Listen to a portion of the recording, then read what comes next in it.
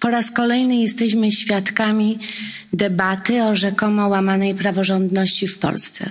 Po raz kolejny Parlament Europejski, który tak często nawołuje do przestrzegania praworządności, tak de facto tę praworządność łamie.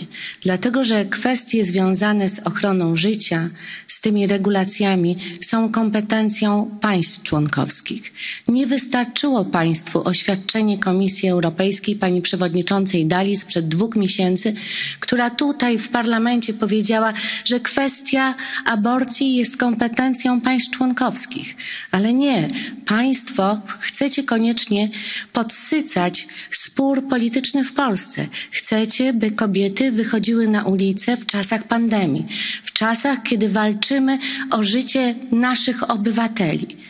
Jesteście zaniepokojeni de facto tym, że te spory w Polsce wygasają. Dlatego też dzisiaj odbywa się ta debata. Proszę Państwa, Trybunał zbadał zgodność ustawy z Konstytucją. Konstytucją podpisaną notabene przez lewicowego prezydenta i przyjętą za rządów lewicy. Poprzedni prezesi Trybunału Konstytucyjnego wyraźnie stwierdzili, że Trybunał nie mógł orzec inaczej. Ale Państwu to nie przeszkadza.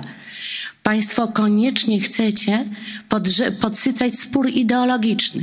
Jeszcze nie tak dawno przychodziliście tutaj do parlamentu w koszulkach z napisem Konstytucja, wzywając rząd polski do przestrzegania konstytucji, którą jakoby wy wedle waszego widzimisię łamał. Dziś jesteście niezadowoleni, że Trybunał orzeka zgodnie z konstytucją.